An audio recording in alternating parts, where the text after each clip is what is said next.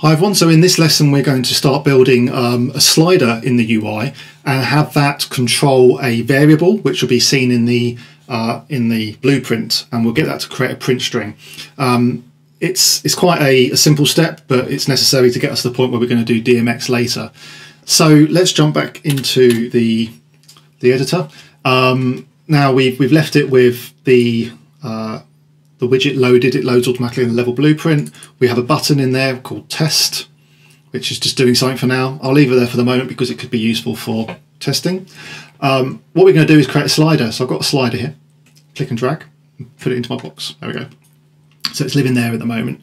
Um, this could be changed in a number of ways. We can make it look better, worse. This is just the default one Unreal gives you. Uh, if you're a junkie like me and love marketplace assets, you can buy loads of UI assets uh, try to look for a deal when you know you've got a, a, cyber week or something. Uh, I only say that because it's been Black Friday recently and we've had loads of good deals coming along for these sort of things. And it'll give you loads of content that you can load into one of these sliders. So I'm just going to leave it as it is because it's just demonstrating at the moment. This is a test project. Uh, later on we'll make it look nice. But that's a slider. It's got loads of tools. It's got ways of making it bigger and smaller. Um, obviously we can drag it around just like we did the button. Uh, we need to name it. It's currently slider zero. We're going to call it slider intensity because that's going to be the first parameter we're going to make on our DMX. Now we have several different ways of changing the, the, the, values that go in and out. Um, we could send it to a, a variable um, directly by creating a, a link to the value that it, it generates, but there's a, a, much neater way of doing it, and I'll be I'm not explain that very well. Currently, this this is the most important bit here. It's set to maximum value of one, minimum value of zero, and the default value, what it starts at, is at zero. Now, in DMX world, we do everything into 255 because the, well, actually 254. DMX has 255 bits, so everything goes from zero to 254, and 127 is in the middle. So if we want something to sit in the middle, like pan and tilt value, you'd want the value to be 127 and your max value to be 254. So we're going to put this at 254 and then 0 and 0 because that is the uh, the intensity of the of the object. Uh, right, then we're going to pop over to the, oh no, sorry, not, we're going to go back to the UI, I haven't done something. We have to create an event. Uh, now, these are all very similar to the button that we had before uh, you'll see you've got on mouse capture begin, on mouse capture end, um, on control capture begin, on controller capture end. That's if you're using a gamepad. On value change is the one that we want. Okay, so when it detects any sort of change in the value of the slider, it will create uh, an event. So let's click on that.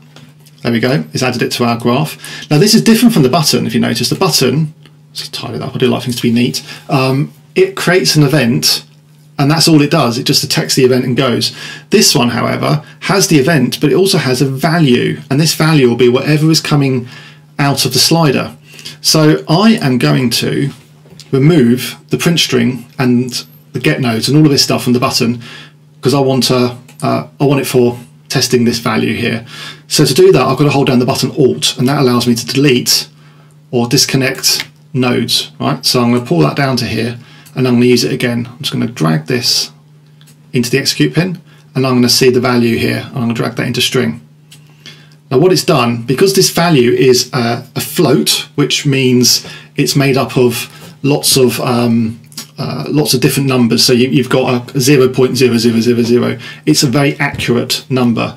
Um, and it's going to convert that into a string, which is letters and words, which is what needs to be printed pretty much everything that you're going to put into a print string is going to get converted somehow because it always needs to be a string at the end. So I am going to change this to back to one second. I've got to stop pressing these buttons in the notepad, haven't I? There we go. Um, so the uh, you can see me again now. I lost my camera earlier. So I will set that back to two seconds, and that is going to send uh, the value of the slider to the print string, so we can check it. Let's do compile, save, go back to the DMX console, hit play, and now we've got our slider. Now if I drag this, we should see the value of the slider is changing. Right? That's very handy, isn't it? So we can check what's working and what's not working. Stop that. Now, the point of this lesson is that we're actually building variables, right? So we need, we need to figure out how to get this value to store as a variable. Let's just delete this print string for the moment. Just going to hit delete, get rid of that. Um, move it out of the way. We'll use it again in a second. This value, we know now, can create a number between 0 and 244 because that's what we set in the slider uh, value range. To make a variable, there's a couple of things you can do. You can click it up here, uh, add a variable, and set it. But a really simple way to do it is just to right click on the word value and it says promote to variable. And there we go, we now have a variable. What is a variable?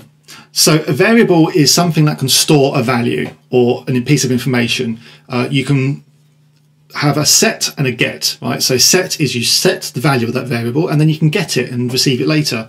And we're going to use this a lot in this and they get quite complicated because we've got here uh, a normal uh, a normal variable but if I click on here I can change it to an array and we saw arrays earlier with our DMX information or a map which is going to come up as well because that's how we get information into uh, the DMX fixture library. So we've got a set, we're setting the value of the variable value. We don't want to call it that, we're going to call it VAR. This is my format, not anyone else's. I don't know if anyone else does it this way, but I like to start my variables with the VAR prefix, and then I'm going to call it uh, oh, int slider. I'm, I'm catching myself there because int is a type of variable, and um, I want to call it int because it's intensity. That could get confusing later, but we'll see. Um, we could change it to a different type of variable here. There's loads of different types. I mean, you've got every type of motion development. You've got DMX variables if you needed it. They're all in there. But majority of variables are booleans, integers, bytes, floats, strings. Um, none of the others are going to come up in this project. Uh, and I'll explain what they all are as we go. So we've got a variable now. Now it's got an execute pin in and out. So we need to use that because at the moment this isn't going to set anything because we're not telling it to work. It's turned off effectively. So what we want to happen is that when the slider gets moved, it's going to trigger an execute command. So we want that to execute the set. It's now going to set the value into this variable, variable int slider. And then we're going to tell it to print the print string. And it's converted it back into a string. So exactly the same. Compile, save, DMX console. Let's play it again. And now we should see the same values. Okay, it's still printing it. What we're seeing there is the variable uh, output. To test this is really working, we're going to be really bold. We are going to drag that out a bit more. We're going to disconnect this from the print string. We are going to move the print string back over here. We're going to use our button.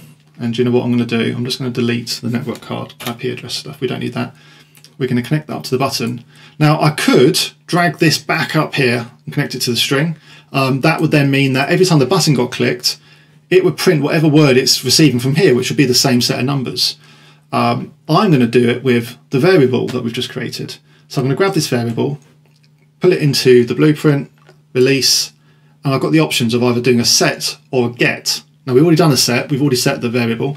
You could have another one that sets a different value. It'll always be latest text precedence. So whichever value it gets last, it will update the variable in the uh, in the, the user interface.